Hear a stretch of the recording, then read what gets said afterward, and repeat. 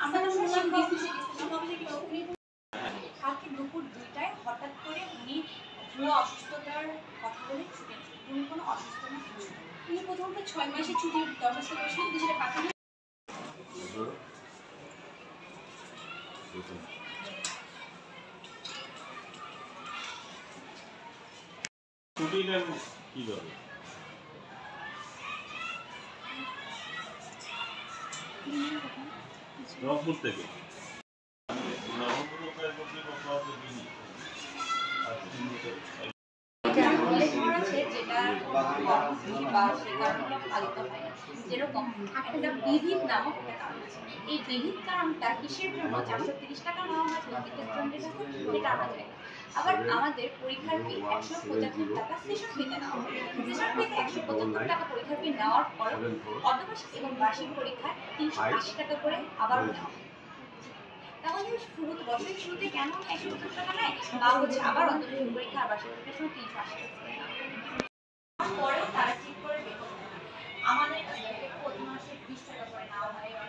একশো পনেরো টাকা বেতন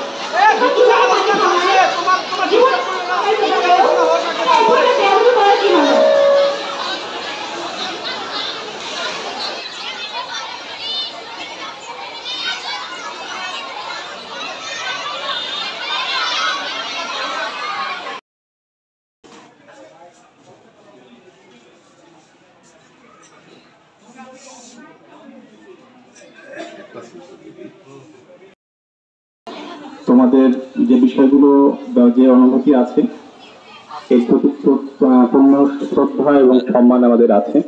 তোমাদের যে স্কুল, এই স্কুলে আমার মেয়েও পড়ে। তোমরা যারা আছো, হয়তো আমার ছোট বোন বা মেয়ে বয়সী হবে। আমি এতটুকু তোমাদের বলি যে, তোমাদের যে সমস্যাগুলো প্রধান শিক্ষিকাকে নিয়ে বলেছ, আমরা অত্যন্ত গুরুত্ব সহকারে নিয়েছি। লিখিতভাবে জমা নিয়ে নেওয়া হয়েছে। আমরা কাগজটাও পেয়েছি। প্রধান শিক্ষিকার অপসারণের বিষয়গুলো এসেছে, আমরা দ্রুততম সময়ের মধ্যে এই বিষয়ে ঊর্ধ্বতন কর্তৃপক্ষের সাথে যোগাযোগ করে।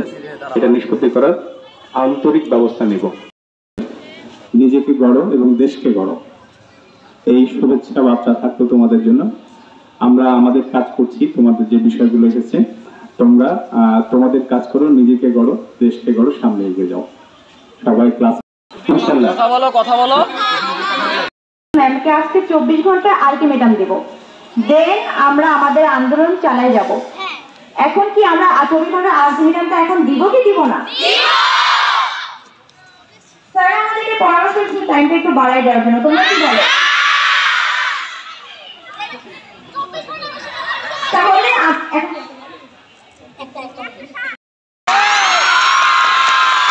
আমাদের স্কুলে তার জন্য একটা রুম আছে যে রুমটাকে আমরা অ্যাটাক করতে পারি ইভেন তার বাসায়ও অ্যাটাক করতে পারি।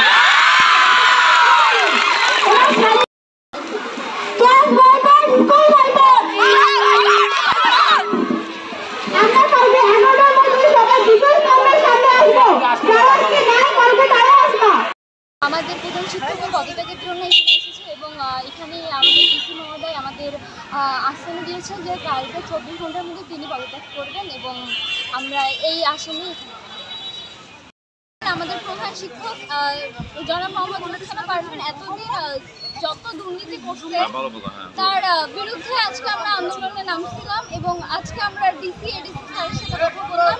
তারা আমাদের আশ্বাস দিল যে চব্বিশ ঘণ্টার মধ্যে ম্যাম পদত্যাগ করবে না হলে আমরা আমাদের আন্দোলন চলমান থাকবে। এখন পর্যন্ত আমাদের স্কুলের সকল কার্যক্রম বন্ধ।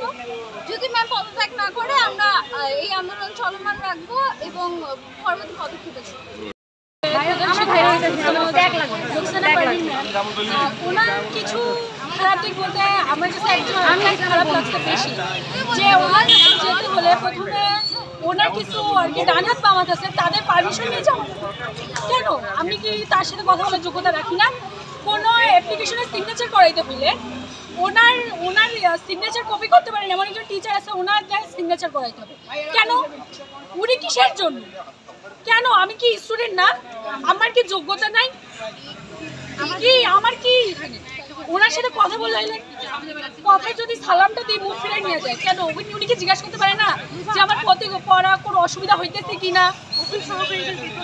অফিস সহকারী যেখানে মাসে আমরা হিসাব করে দেখছি দশ হাজার টাকা হয় সেখানে উনি চার হাজার টাকা দেয় কর্মচারীদের। বাকি ছয় হাজার উনি কি করেন? ঠিক আছে। আমাদের টিফিন ওখানে স- সিঙ্গারায় পোকা পাওয়া যায়। উনি নাকি একদিন কলা খাইছে সেই কথা বলে। ওনাকে একদিনও আমাদের ক্লাসরুমে দেখি নাই।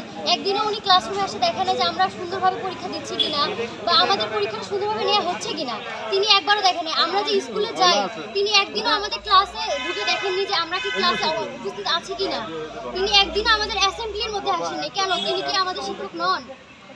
তার সাথে কথা তার কাছে কোনো পারমিশন নিতে গেলে তিনি আমাদেরকে কোনো পারমিশনই দেন না। উল্টা আমাদেরকে অপমান করে বের করে দেন। কেন আমাদের কি কোনো চাওয়ার ইচ্ছা নাই? আমরা কি আমরা কি স্কুলের স্টুডেন্ট না? আমাদের কি কোনো স্বাধীনতা নাই? আমরা যদি কোনো একটা কিছু করতে যাই ম্যাডামের কাছে যাইতে হয় কেন আমাদেরকে ম্যাডাম ওই কাগজ ছিঁড়ে দিবে? ম্যাডামের কাছে গেলে ম্যাডাম ওই কাগজটা ভালোভাবে পড়েও না না পড়ে ছিঁড়ে ফেলায়। ঠিক আছে। হ্যাঁ।